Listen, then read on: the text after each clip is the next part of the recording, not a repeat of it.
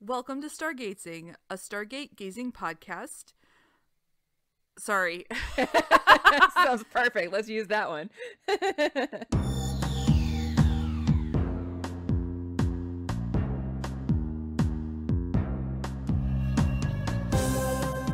Welcome to Stargatezing, a Stargate gazing podcast.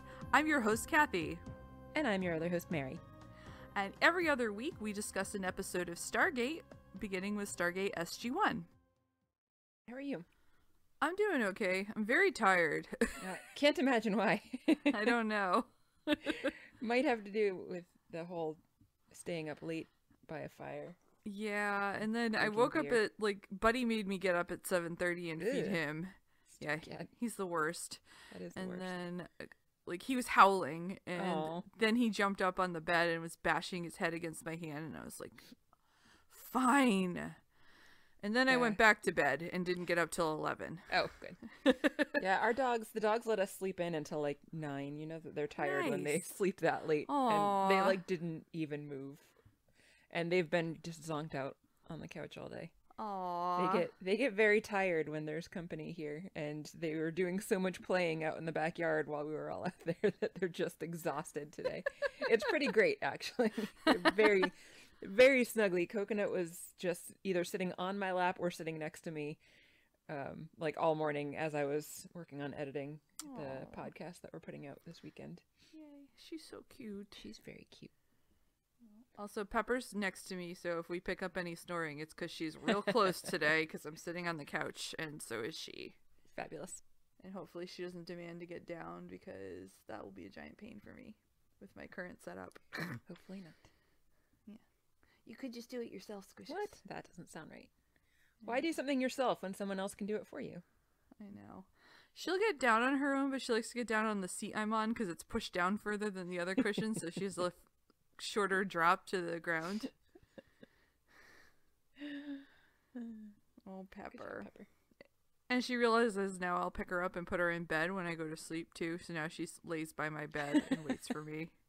Coconut was doing that for a while because she had actually hurt her knee, and so we were picking her up or carrying her places. And then, even though her knee had gotten better and she was fine, she still wanted us to pick her up and put her in bed and carry her up the stairs after she'd been outside. And we're like, "No, dog, you uh, you're you're perfectly fine. You don't need us carrying you around like a little precious bundle that you want to be."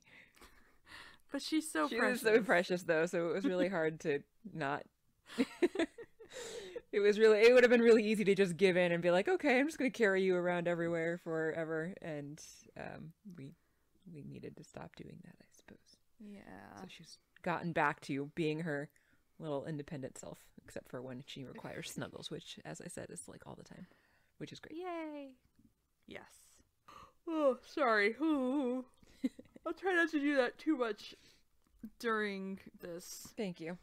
You know, if I do, I'll try to make it extremely obvious and dramatic so you know where to like cut it and I'll try not to do it like mid sentence or Yes, thank Yeah. you. cool. I had coffee, but I did too. I'm actually still drinking coffee. nice. I've moved on to NA beer Nice. because it was either that or water and I already had some water and I was like, I don't want more water. Hmm, that's fair. Squishes and it's NA, so it's okay to be day drinking. Yes, exactly. Consequence Not that I would judge you for day drinking, even if it wasn't. No, NA, but but it's you know consequence free day drinking. So yes. after this, I can get up and go to the grocery store if I want. Although I won't because it's Saturday and I refuse to yeah, leave I my wouldn't. house on Saturdays. I wouldn't either. That's why I went yesterday afternoon, even though I was still technically supposed to be working, because uh, I'm not going to go on a weekend. No. Too many people. Even on a Friday afternoon, there were more people than I would have liked, but So many. uh, I didn't want to wait until today. I've been having yeah good luck with Sunday mornings around nine. Oh yeah, no way. It's it's a it's there's not that many people there that early. Oh, really? Yeah, Okay. at least not in my stop and shop. So that's nice. So I've been Yeah, trying to do that, but that requires I get up and get moving on a Sunday morning, which sometimes not so great. Right. Happy tenth episode, by the way. Holy cow! Ten episodes. This is our tenth episode. That's amazing. Isn't that exciting? I'm excited. It is very exciting. Yeah. Everyone's excited. We should Yeah. have a party if we, We should. could. Yeah. if it wasn't the COVID times, maybe Yes. we'd have a party. That's okay. We'll have a, another party another time. someday, someday there will be parties again. Well, I mean, I guess there's still still technically parties now, but uh, not any kinds of parties that I want to be going to in the middle of a pandemic because they tend to be super spreader events. yeah. Yeah. So we'll Yeah. we'll hold off on the party. We'll hold off on parties. Let's have our little party here over the the interwebs. Woo! Yay! Huzzah! Should have brought a noisemaker. I'll edit some. I'll edit some celebratory noises in. Woohoo! That'll Yay! be good. Mini mini online party. Yeah. So what are we talking about today for our tenth exciting episode? We are talking about the torment of Tantalus, which is a pretty good one, Yeah. I would say, uh, to celebrate our tenth episode. Mhm. In this episode, we uh, we visit the past and we visit a fun planet, and it's all good. It is. I don't know if it's all good, but it's kind of good. I thought it was good. Yeah. This episode opens with some funky, jazzy, old timey music, and we are seeing the gate room, but it is clearly not modern day gate room. Everyone's wearing different uniforms and kind of older looking khaki outfits. There's a bunch of guys dialing the gate by hand rather than the computers doing it, as happens in modern day. And there are like random scientists studying it, doing sciency things and then they slowly pan out and it is hard to explain but it kind of fades into like an old film type of appearance and we continue to pan out and see that this is actually now happening on a TV screen and Daniel is watching it just absolutely mesmerized. I loved this transition. I yeah, it was actually really cool. I thought they did a nice job with yeah, that. there were a couple really good ones that I enjoyed in this. Mhm. Yeah. Yeah, I don't know who was directing this, but um I looked But it up did a good job. before for a different reason, but now I can't remember their name, and I'm the worst. yep, you are the worst. I, it's true. Hold on. I actually think I might still have a thing up that might have that information. This was directed by Jonathan Glassner. Oh, I have not heard of him before. I've only heard of him in the sense that I've seen his name in the credits for this show. so, Fair. Yeah. All right. Anyway, O'Neill comes in and tells Daniel that he is supposed to be getting a physical assessment right now, but Daniel is kind of ignoring him and just talking about how he's confused as to why they gave up the research that they were doing on the Stargate. And then he is suddenly stunned because as he's continuing to watch the TV, there's a scene with the wormhole actually open. You can see the event horizon in the wormhole, and a guy in an old timey diving suit, like the kind with the air hose, the deep sea diving suit, is getting ready to go through the gate. And he calls Jack back over and he's like, Look at this, look at this. And they're trying to figure out, well, why didn't they tell us about this? Why did they cover it up?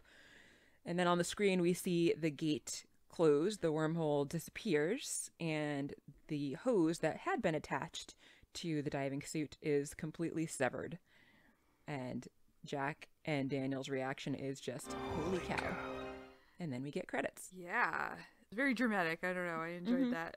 I thought it was an interesting choice to use the diving gear because the event horizon looks like water. I was thinking that too. Yeah. Yeah.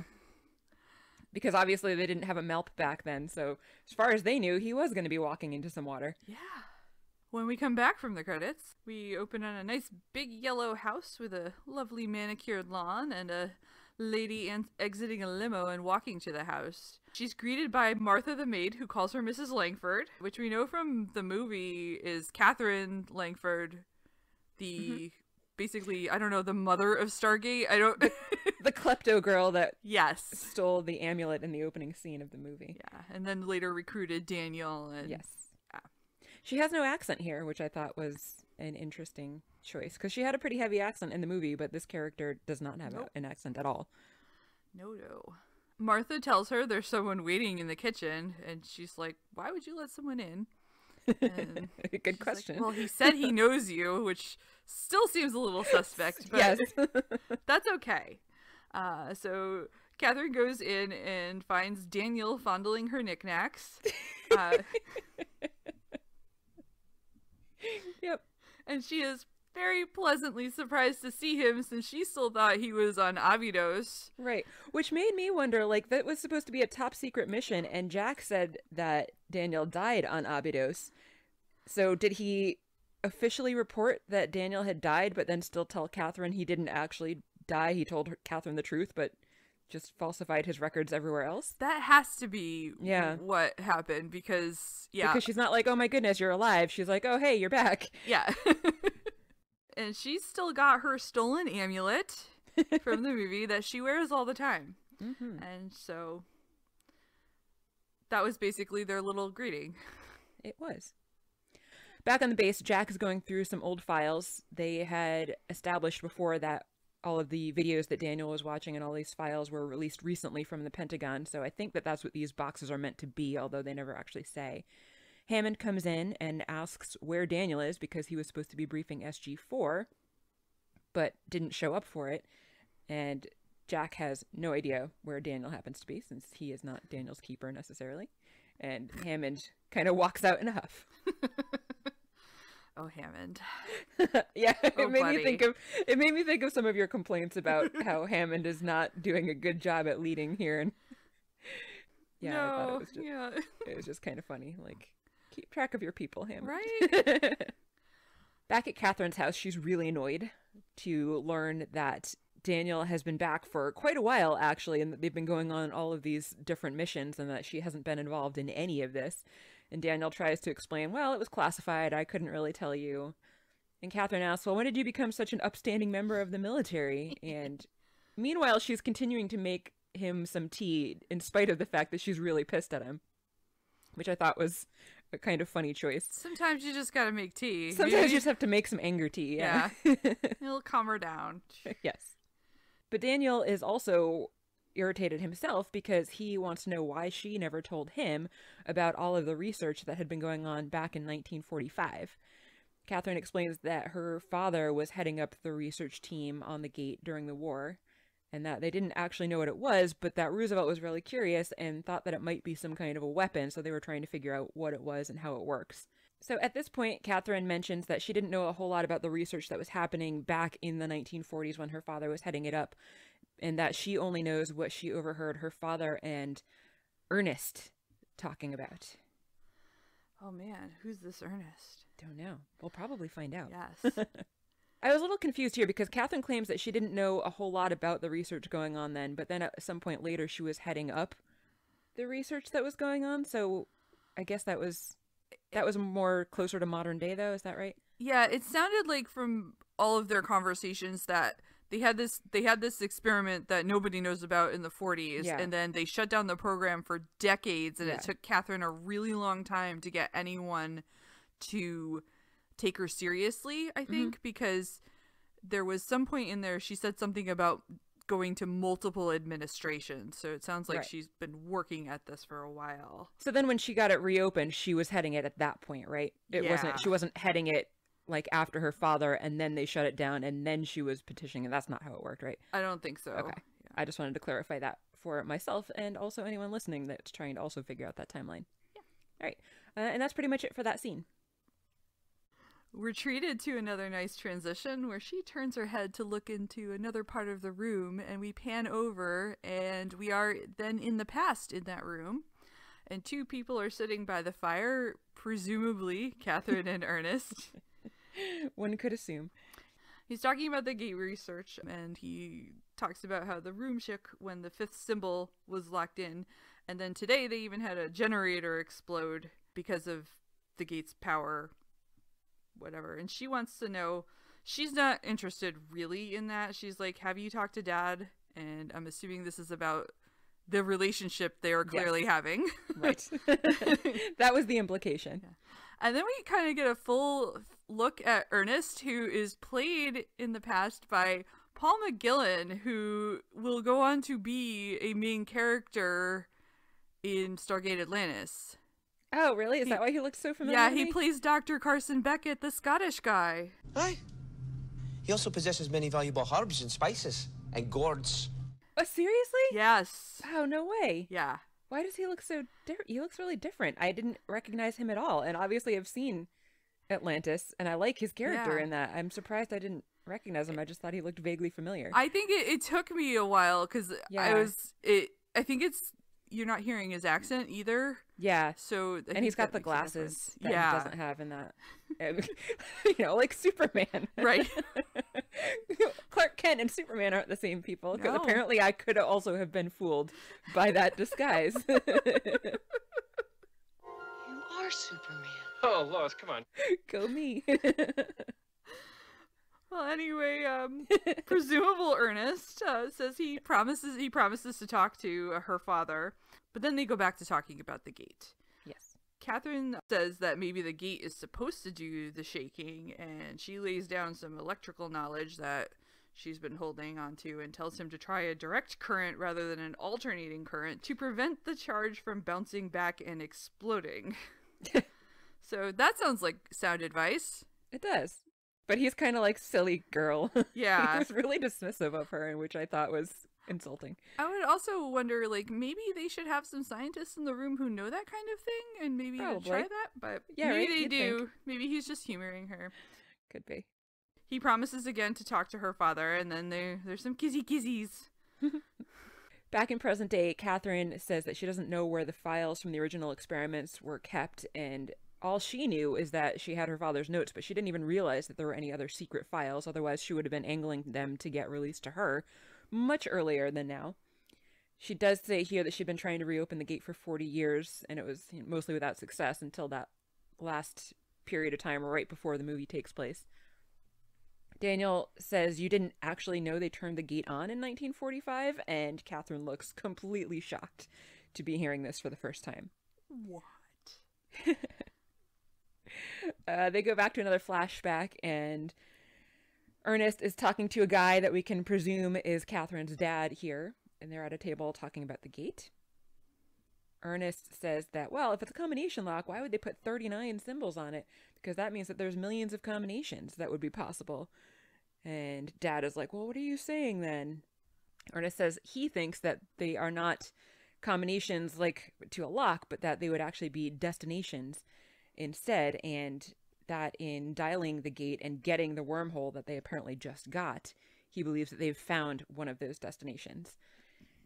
Catherine's father says, Well, we don't really know that that necessarily goes anywhere, so we can't assume that it's a gate. It could just be that anyone that passes through it dies instantly. At this point, Catherine comes in with some tea and snacks, and her dad is really dismissive, saying, We have a maid for a reason. Catherine gives Ernest a meaningful look before leaving the room.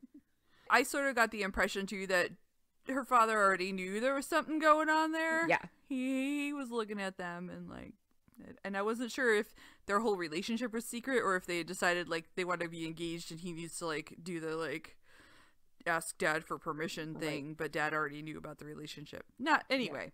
Not made clear. He gives them a knowing look though. Yeah. And then we get another great transition back where her father presumably reaches for the sugar cubes for the tea. And then we are back in the future where Catherine is grabbing sugar cubes to drop into her tea Yes. using the same, same tea set. Yes. Yeah, that was a nice transition Yeah. too. She says she never knew about the gate. And then Daniel pops in a VHS. I know that made me laugh. We got to hear the sweet sound of a tape going into a VCR, which is a did. a dying sound i think that will only be preserved on you know tape in the future or Did it give you flashbacks of all your time working at the video store? oh yeah oh yeah and then he wa- she watches the same footage of ernest going through the gate and she that's at that point she actually confirms the guy going through the gate was Ernest Oh, at yes. that because before that Daniel hadn't known who that was. that is true i didn't think about that Although how she could really tell because he was in his diving bell, I'm not really sure. Did they show his face before they put the helmet on? i think I they remember. i think they did i Okay. i think so but you know also maybe like that was his special diving suit like that she just be. recognizes because he brings it everywhere with him Yeah, you know, like you do. Yeah. So we flash back quickly to the past where Catherine's father comes in and relays that there was an explosion at the gate and that Ernest died. And then back in present day, where she literally says what we just saw and explains that her her dad probably lied to protect her feelings since clearly Ernest has chosen his work over her. And she also says that Daniel reminds her of Ernest, that they're both very passionate about their work, and that's how she knew that he would solve the puzzle of the Stargate. Daniel says he's not supposed to show her something, even though he's shown her like all the things already. Right. Everything else was fine to show you, Yeah. but this one thing that I'm going to show you. I mean, they did say the other stuff was declassified, Yeah. so so now everyone can know about the gate, I guess. Technically, I which guess seems like an odd choice since they're still actively doing top secret research on it. But okay. maybe they only declassified it to the level that Daniel's allowed to see it. I don't know Yeah. how that. I don't know how exactly how declassified it is. Right? Is Yeah. it completely declassified, or is it just a lower tier of secrecy? Yeah, I can't. I can't imagine that they could have actually just outright declassified it because Right. this. Yeah, it's related to what they're what they're doing now. That is super secret. Yes. Daniel, what he's showing her are actually images of the gate address that was dialed in 1945, and they note the similar coordinates to Abydos.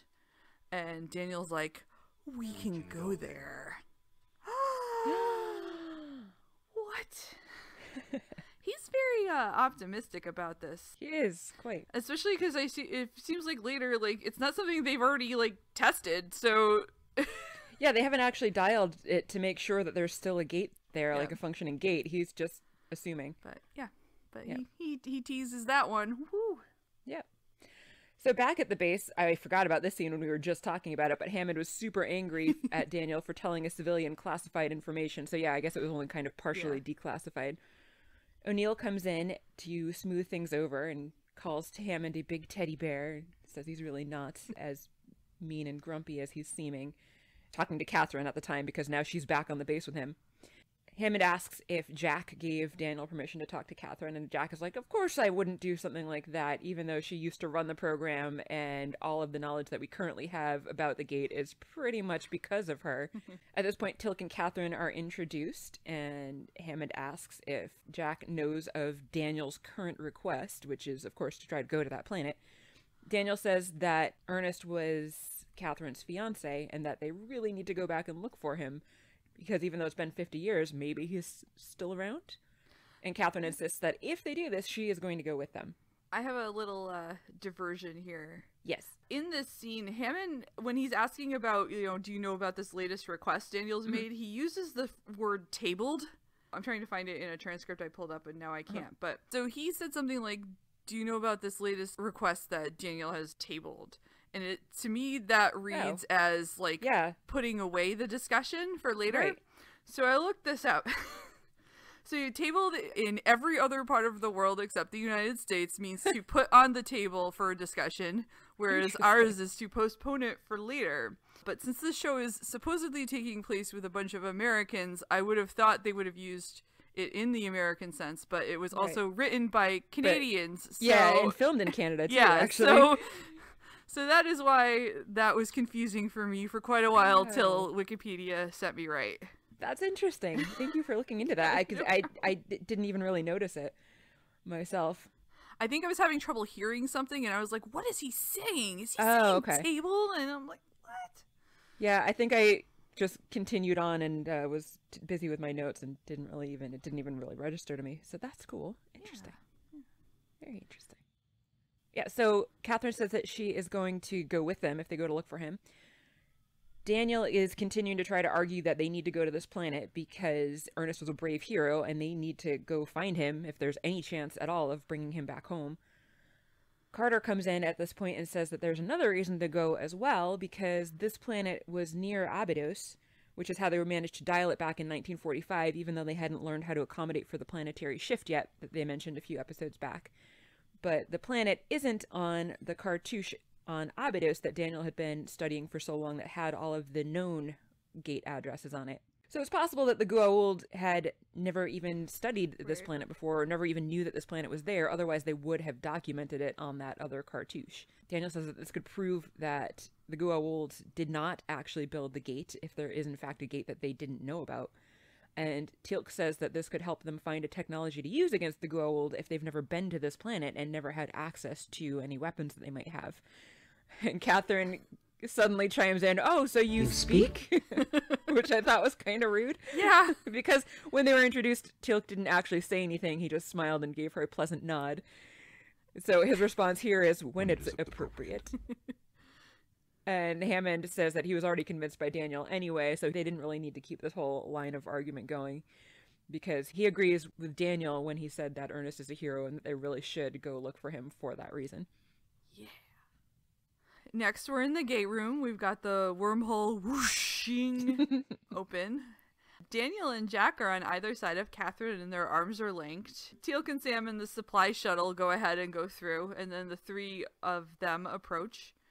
Uh, Catherine's pretty So- apprehensive. This was making me laugh because I was thinking about how they flew through and all tucked and rolled in the last episode, which we were talking about, and I was like, oh man, if she is as fragile as she's seeming to look here, then this isn't going to end well for her. No, and that's why I think they're uh, linked like that because I, I at first I thought it was moral support, but I think it's actually physical support they're providing her. I'm sure that that's that is the case, but also the way that they lined up, like right in front of the gate, each of them holding one hand and their other hands behind her back, it looked like they were about to pick her up and throw her through.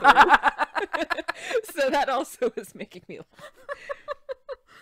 That would be that'd be a, like a really horrible hazing that they do Yes. to people new to the gate, but it would be especially terrible to do to a poor elderly woman. Yes. Anyway. Yeah. So Catherine looks a little apprehensive, and Jack's like, "It's a piece of cake," and they smile and they hold hands, and they go through. And they don't end up falling and tucking and rolling when they get to the other planet. It's a little bit of a forceful entrance, but it's just kind of one big quick step and then they catch themselves after they come through. Yeah. They're in some kind of an old temple and looking around the place it looks like it's collapsing. There's dust coming down from the ceiling and there's just like fallen over beams and columns and rocks everywhere. And they comment about how hot it is. Jack asks if there is any way out of the place and Teal'c says there are only two doorways. Which I thought was weird because does that mean that doesn't that imply that yeah, there's two doorways. you can get out that way, but the way Teal'c said it, it was like, no, there's only two doorways. so I thought that was weird. A little bit.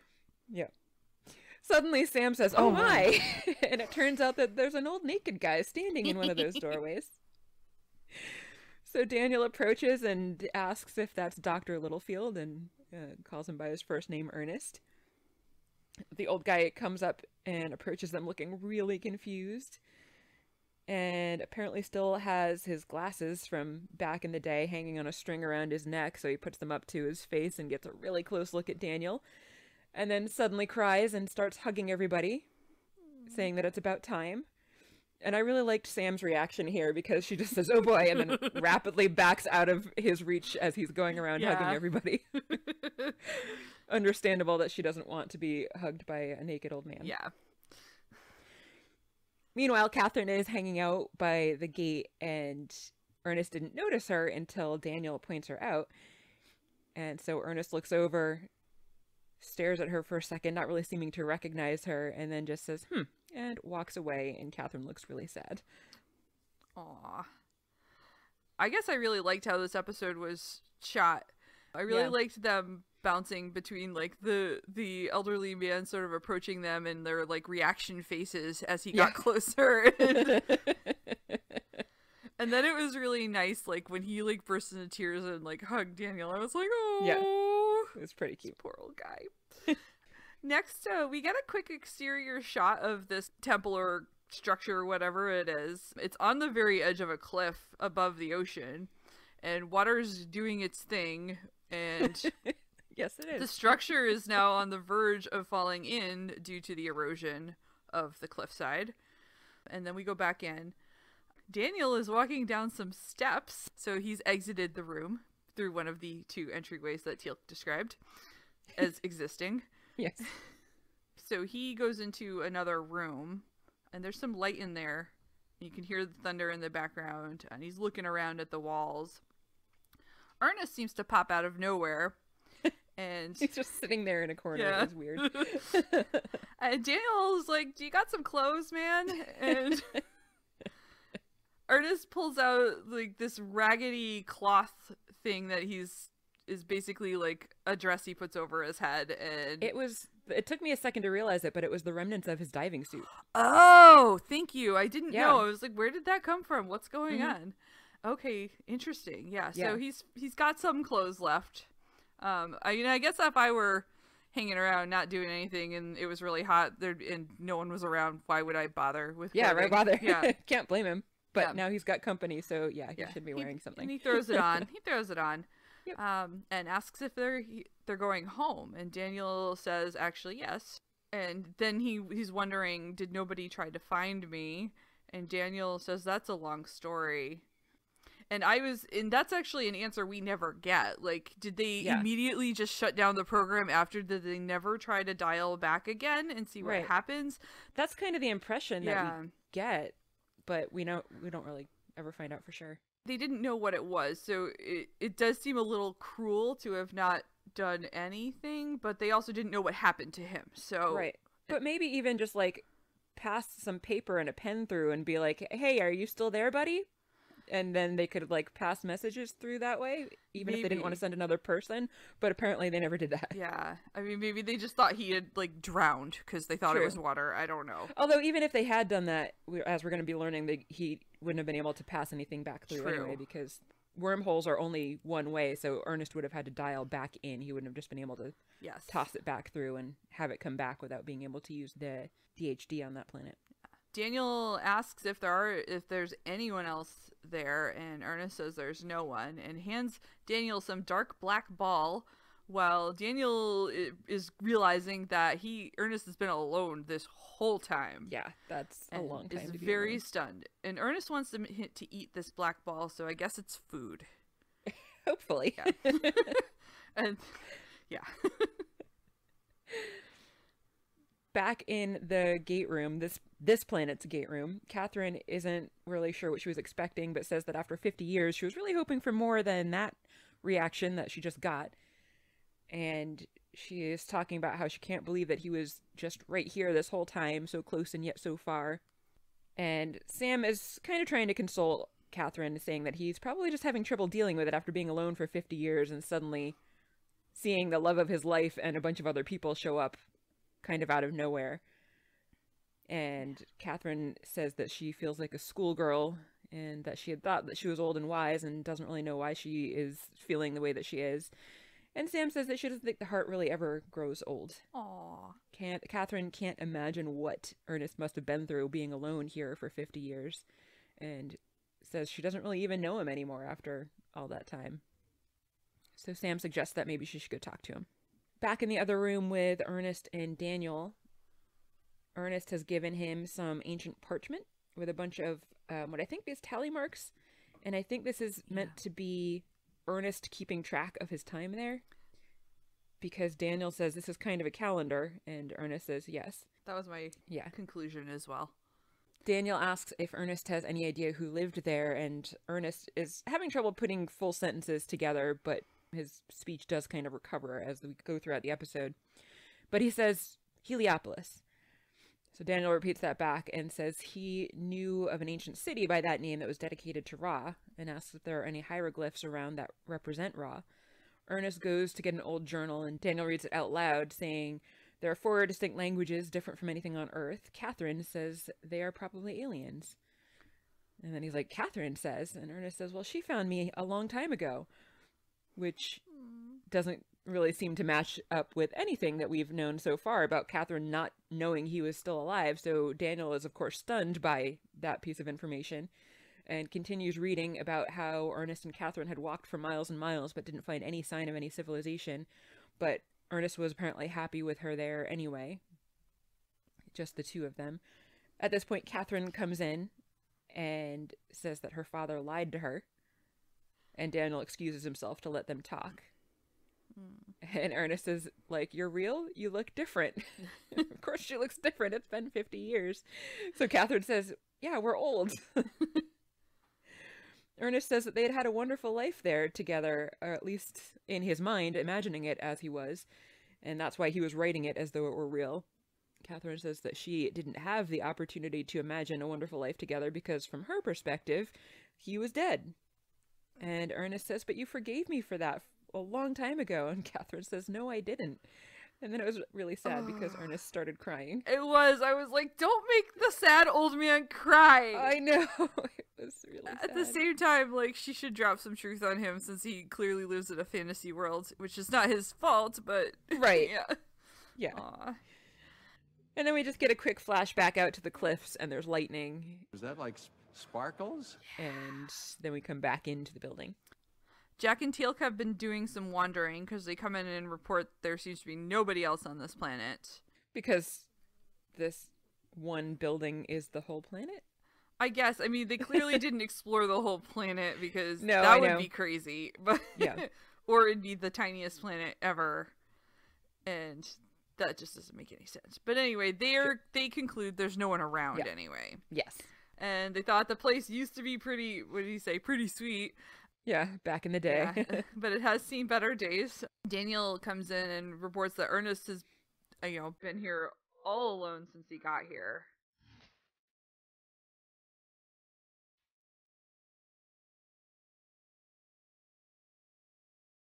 Jack and Teal'c uh, say there's a big storm coming, uh, and Ernest uh, Ernest reveals it's a yearly storm, and Mhm. Jack is pretty adamant that they've got to get out of here or they're all gonna fall in the ocean and die. that would be an unpleasant end. And Daniel is Show yeah. over, series over. at the end. well, that was a fun run, That's a Kathy. great Should we, run, uh, yeah. Move on to S- uh, Stargate Atlantis. yes, I think so. I mean, there's no more SG One after this. Right.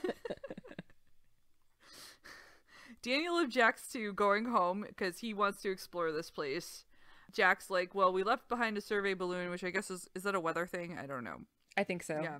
I was. That was my impression. Yeah, and so and they can, you know, they can check back in and come back once the storm is gone if Yeah. if they can. They need to get the olds to safety. Uh, I don't think he said that, but that was my No, impression. but, but but I like it. Okay. Ernest gestures to the DHD that we haven't really paid any attention to so far, saying he tried to make it work. And Daniel said, you know, asks, he's a little condescending, I felt in this. Like, you never tried to Uh-huh. press any buttons. Yeah. Um, and then, He's like, it's just right here. We call this the DHD Yeah. or dial home device. He was really, yeah, it was like, and you can Yeah. use it to go home. And yeah. He was really dumbing it down for this guy who's clearly who was pretty brilliant back in the day. So it was pretty condescending. Yeah, but Daniel starts to is trying to explain how it works to him, and Jack's like, "Why don't we just show him?" Yeah. But then they all walk around to the DHD, which they haven't looked at because it's kind of up on a little pedestal set Right. pretty far back in the room, and they so they didn't notice that Whoops. the big red button is smashed in. Yes. So it's not working. Daniel like fruitlessly taps on some symbols and it does nothing. Their probe didn't doesn't detect that because it looks like it's only a visual probe that they're using anyway. So unless Yeah. it's wheeled around, yeah, Jackass doesn't the MALP get confirmation that these things are here, but Sam says that it's only visual confirmation. It's not like actually sensing to see whether or not it's active, Yeah. but just that it's there. Maybe they will change their their procedures, yeah, change their SOPs moving forward. yeah, or maybe not since. Well, I mean, again, I have a feeling they won't. The- But you know, this device is broken, so they just fall in the ocean. yeah. So yeah, they won't. There's no procedure to change. and then then that's it, and we move on to Stargate Atlantis. Yeah. and Ernest says it's been broken since he got there, and oh my god, they can't go home. Thunder and dust and dramatic music. Yes, I also wrote about the dramatic music. We get yet another view of the cliffs and the lightning, and I'm pretty sure that this is the same cutscene every single time. Yeah. Back inside, most of the team is exploring, although Teal'c and Sam are trying to fix the dial home device. Ernest shows everybody, except for the two of them, to another room that has another kind of device, and he uncovers it and it lights up, as do a bunch of panels in the wall that all look like they have some kinds of different writing on them. And Daniel reads from the journal. Ernest believed that it was a meeting place for four different alien races to share knowledge and discuss issues, kind of like a UN of the stars. And apparently, imaginary Catherine agreed with that assessment. And real Catherine says, yes, I would have. Back in the gate room, Sam and Teal'c are trying to figure out how to power the DHD, and maybe they can dial the gate manually if they can at least get it to power enough to open the wormhole. And then we're back in the I called it the glowy room. Nice. Um, Jack touches that big red button on this other device, and we are treated to a light show. yes. And we see a bunch of orange blobs and smaller blue blobs floating around the orange blobs high in the air, and a bunch of different ones. Yes. Jack recognizes something, and I think was it Ernest who identified it as hydrogen, or was that somebody Mhm. else? Uh, Uh, I don't remember. somebody recognizes it as hydrogen, yeah. and then they all start like pointing out a bunch of different elements as made by these orange and blue blobs. yes. And Ernest says he's been here a long time, so he knows the most of them. If this were a contest. and Jack says, you know, something about it being comic things. Atomic things. Which are, yeah. I was like, come on. I mean, like, I know he's not a science person, but even if he's had basic chemistry, he should know what an atom Yeah, is. he's he's playing dumb. yes. So yeah, so this is basically we're looking at elements Yes. created in a visual form Right. that I would never recognize. I don't have that sort of ability to have recognized them. Oh, really? or skill. I don't know. it's been a long time since I've done any uh, studying of chemistry. Yeah, that's Like fair. high school. Yeah, I did actually think I didn't remember for sure that they were elements, but that's actually what I was thinking they looked like when they came up. But also, I'm teaching chemistry right now. nice. So. Check out the ones they call the elements. It's a good song. Ernest has identified 146 elements. Yes. Which they're like, holy cow, there's only 111 in, I'm going to say 1997 or so. Yeah, we have 118 now. Yeah. And then he, Ernest is like, well, they're only 19 and 90 in 1945. 19. Wow. Yeah. No, there was more than that. they're kind of, they're just, they're examining them and just kind of talking it out. And mm-hmm. Daniel has a flash of inspiration that these elements, as the basic building blocks of all life, is a universal mode of communication. yeah. Catherine had said something about how they've only speculated what an atom Ah. looks like, and the fact that four alien races all thought they looked almost identical to our idea kind of confirms that our theory was correct. Or she seemed kind of incredulous that all of the races would guess that they look the same. But I would think if these races were so advanced, they would actually probably have confirmation that this is what they look like. Yeah. Ernest tells them to turn the page, which apparently means you just touch the red button again and then the light show changes, Yes. which is pretty cool. He's tried to understand this the entire time he's here. And Daniel's like, it could take a lifetime. So insensitive. Because Ernest is like, more. And Daniel's like, oops, sorry. he also thinks this could be the key to understanding existence. Holy cow. The answer to the ultimate question of life, the universe, and everything is.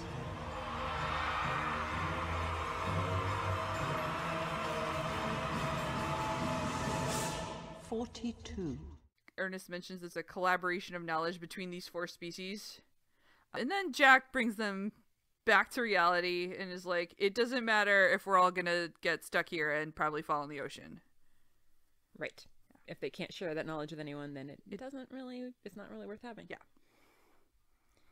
Back in the gate room, Sam and Teal'c have completely stripped the MALP apart and are using the parts to run a wire from the DHD directly to the gate, trying to use the power source in the DHD to get the gate to turn on. Jack comes back in and tells Sam that Daniel was showing off some new toy that may be the key to the existence, and Sam seems surprisingly disinterested in that. You would think that she would be fascinated by that. Given her science background, Yeah. she should be completely fascinated that they're using the elements as a language, although he doesn't actually say that. I feel like maybe she's just being practical and like the first thing is first, gotta do this Yeah. thing. I don't know, or True, yeah. but like she doesn't even react though. She's That's not even like, "Wow, that's amazing," but I need to do this. She's just like, "Okay, whatever." She just wasn't really listening. Doesn't care. That's entirely possible. Yes. Oh, Jack's talking again. No. Jack's saying more stuff. There is more thunder, and some dust falls from the ceiling, and Jack asks Sam to pick up the pace a bit.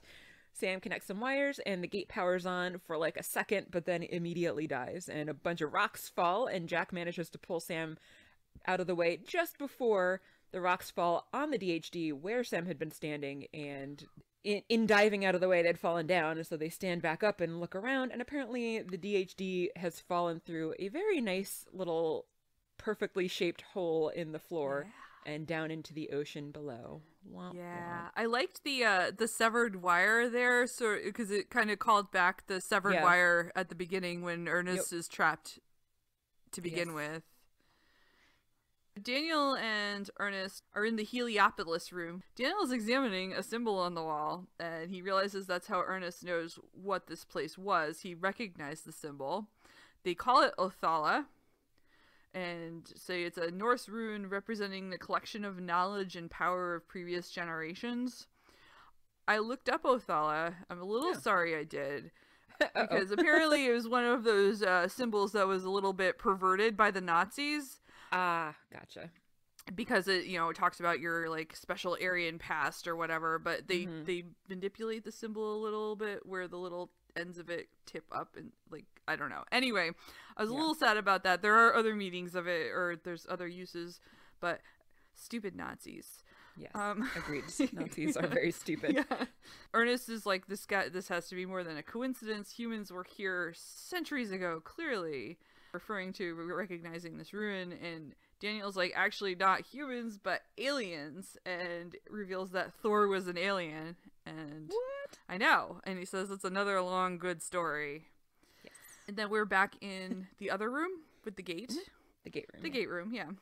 And Jack is trying to assess what they're what's going on, and so he's like, "Well, we know what we have and what we need, right?" And Teal'c says, and Teal'c says they have the Stargate and need the DHD. Yeah.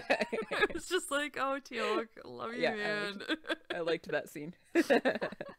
Sam says the gate uh, absorbs energy directly, and uh, if there's enough power built up in the gate, they can spin spin the ring without the DHD and dial home. So Jack's like, "Well, we need energy." Woo. but sadly, they have none No. at the moment. Yes. Anyway. Back in the other room, Daniel is trying to take pictures of all the glowy elements on the ceiling, but is complaining that his camera doesn't allow for relative perspective. Ernest and Daniel are trying to discuss some other measurements that they can maybe use for comparison with the floor and distance and height. The rest of SG1 comes in, and Daniel is very unhappy to hear that they plan to take the power source from this device to try to power the gate, because this is meaning of life stuff, as he says. 42. And he's kind of grasping at straws, trying to persuade them not to disassemble this thing. But they insist and tell him he needs to step aside, and then for some reason they blast it with Teal'c's staff. I didn't really Why? understand why that was their method of trying to take the energy source out of it. I had no, idea. yeah, that made no sense. Like, you're risking destroying your energy source by doing that, I would think, but to them, that apparently seemed to make sense. anyway, it didn't work. It didn't do anything. And so Daniel asks, Well, now what? Sorry, I just like they also just gave up after that. Like, yeah, they're like, All right, I guess that's it. That's not going to work. doesn't make any sense. It was a weird scene. Yeah. so at this point, we hear thunder overhead and loud creaking noises, and Jack's like, "Well, why don't we use that Ben Franklin thingy?" And I, actually had no idea what he was talking Oh. about with that reference. but I mean, obviously, I got it later. Yeah. But at the time, I was like, "What Ben Franklin Well, thingy?" that's funny too because I wasn't thinking about Ben Franklin, but watching them with like the cables and stuff, and I was like, "This looks like Back to the Future." When Doc Brown is trying to get the lightning to strike, or he knows the lightning's going to strike the tower, and needs to wield the power to get his 1.21 gigawatts." 1.21 gigawatts. Back in the gate room, the team comes in, and Sam explains to them that maybe they can harness the lightning to power the gate. And Teal'c asks how they're going to attract the lightning, but Sam says they can rig something up on the roof, and hopefully it won't destroy the dialing mechanism if it's too powerful. And then we get a nice little science montage.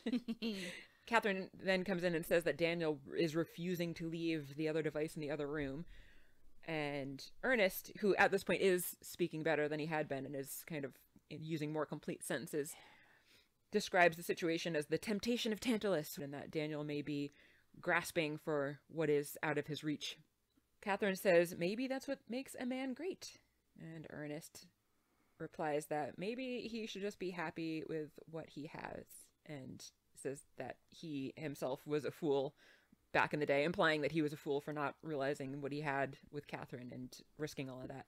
But Catherine says that there's no point worrying about the past, and then Ernest picks up his old diving helmet and goes off to tell Teal'c that they should put that on the roof to try to catch the lightning, while Ernest himself then goes back to get Daniel. In the other room, Daniel and Ernest are arguing, and Ernest is trying to explain that no prize is worth attaining if you can't share it with anybody. There's no point, believe me, I know, he says. In the gate room, the team is waiting impatiently for Daniel and Ernest to come back. And we get our cutscene outside where lightning hits the helmet. Electricity travels down the very safe wires to the gate with lots of sparks and drama. And Teal'c starts dialing out. Yeah. Jack goes for them both and says, We gotta go. And Daniel's still being a dumbass about staying. He's like, I'll be fine. And Jack's like, No, the whole thing's coming down. Daniel still refuses to go. And Jack's like, You're gonna be in the ocean, dude. And I don't know why I'm saying it like this. I mean, it is, yeah. it's the basic gist. And Jack basically, Jack starts to manhandle Daniel up the stairs. Ernest has already taken off and left. Yeah. He's, he- he's headed. He's not willing to stay and die for this. right. Can't blame him having been there for 50 Yeah. years and having an out. Yeah. Daniel pleads with Jack to let him go, which he does, and then Daniel takes a final look around the room and just grabs the journal and comes to his senses and leaves the room. Yeah. yes. About fucking time. Seriously. Back at the gate, which is dialed up and ready, Catherine is telling Ernest it's a piece of cake. Ernest is like, I don't remember it that way, but okay. And they go through. Yeah. And then Teal'c and Sam are waiting for the other two. And the other two are having a bumpy journey back to the gate. Yes, they are. Yes. At least twice they nearly miss being conked in the head by falling stones. And Jack tells Sam to go, so she goes through. And then we have like a dramatic wait because then we're back at the SGC. Yes. Yeah We get a brief scene where it looks like the ceiling is collapsing and it's hard to tell whether or not Jack and Daniel are okay. And Sam has gone through and we see a flash to the gate room of Sam waiting in the foreground.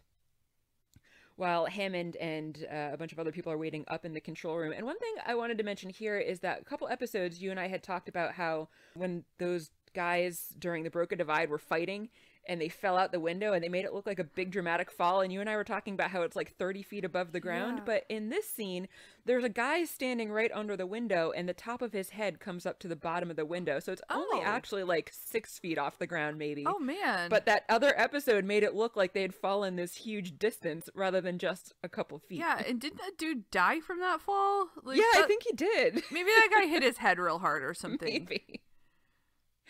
Anyway, they mention here that the wormhole is destabilizing and there's more suspenseful waiting to see if Jack and Daniel are going to come through. Back on the other planet, Jack and Daniel get up out of the rubble, so apparently they are okay. And we go back to the Earth Gate, and Jack and Daniel tuck and roll through the gate. This time it actually made sense for them to have leapt through and be tucking and rolling as they land back Yes. on the next planet. and the gate closes right after them. Whew. So close. So close. At an indeterminate point later, the gate is dialing. I don't know if they. I didn't check to see if they were all in their same clothes or anything like that. No, I I don't I think didn't so. notice. Um, but anyway, they're, they're trying to dial the gate, but they can't. They can't reach the planet. They assume Yeah, the planet, yeah. or at least the gate, Is is, gone. Is at gone. this point. Yeah. Daniel. They console Daniel. He's got the book, and they've got Sam, who's off already sciencing about this and his life.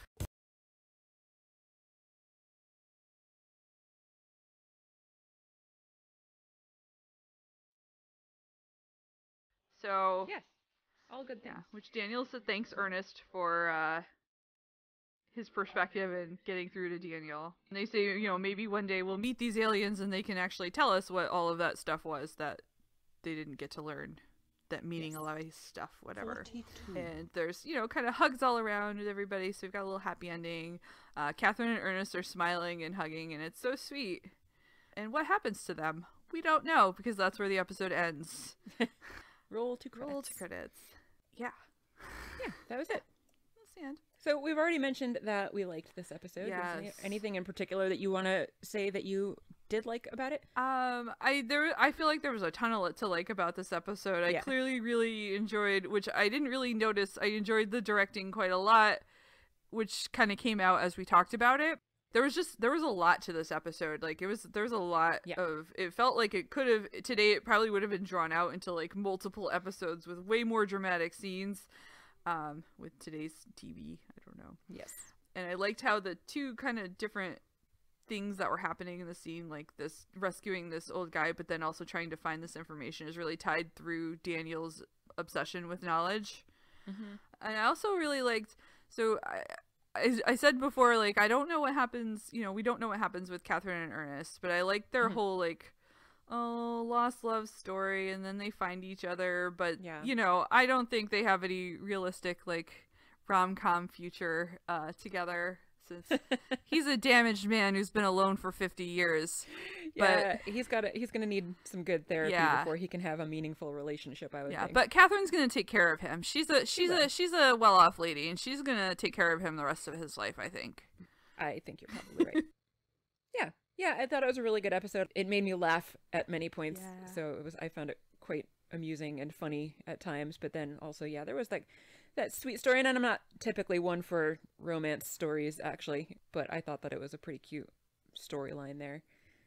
I thought it was an interesting take and some kind of foreshadowing that there's going to be a bunch of powerful powerful but good and positive races that we might be running into in the future with all of the implications of like having four different languages and these being supposedly good and benevolent beings rather than evil like the Goa'uld. So, so yeah, some good story building and character building and and some funny times too. I thought it was a good Yeah. episode. I enjoyed it. Yeah, it's Yeah. good stuff. Mm-hmm. What do we have coming up next? Let's see. A good question. We have Bloodlines. Oh, that was a good show on Netflix. I liked that show. I don't know anything about that show. What's that show? It was about like this really this family that was like super dedicated to each other, but like they they were dedicated to the family line and the family name, but then they were all doing like stab in the backy kinds of stuff to each other, and there were crimes and trying to and crimes and murder, and it was good. I enjoyed it. nice. Yeah, I won't give away too much in case anyone hasn't watched it and wants to. Sounds sounds reasonable. Yeah. Well, this episode doesn't look like it has anything to do with that. I'm gonna keep reading from the DVD booklet because it seems to give away less than the Wikipedia descriptions. Okay. Although they yeah, both that's probably good. they're both just descriptions of the thing, not like teasers. With the proviso that he bring back a Goa'uld larva for study, Teal'c returns to Chulak to stop the Goa'uld from enslaving his son Rya'c. Trouble is, Rya'c needs a larva to survive, and the only one available is Teal'c's. Teal'c has a son. What? Apparently so. Oh my god. He is a man of many secrets. He is. It's because he doesn't speak. Only when he has something important to say. Yes. And, you know, revealing you have family is not important. Yes. Why would you bother to mention No. that? Yeah. Anyway. All right. Yeah, so we'll find out what that's all about. Yeah, so we'll be talking about that in a couple weeks. If you haven't already done so, please subscribe to us on Apple or Google or Spotify or whatever podcast catcher is your preferred. We're on pretty much all of them by now, and we release every other Monday. We're also on YouTube on that same release day schedule. Reviews are greatly appreciated to help other people find our podcast as well, and please be nice and give us five stars. You can contact us on email at S-T-A-R-G-A-T-E-Z-I-N-G. That's stargatezing at gmail.com. We're on Twitter at stargatezing. You can also find us on Facebook. You can like our page or join our new Facebook group. And because this is a labor of love for both of us, we appreciate any generous donations uh, that you might like to make over at patreon.com slash stargatezing. Those donations go to help us cover our production costs because this is not actually a free endeavor for us. And we have our awesome, amazing website at stargatezing.space. You have been listening to Stargatezing. I am Mary. I am Kathy. The end. The end.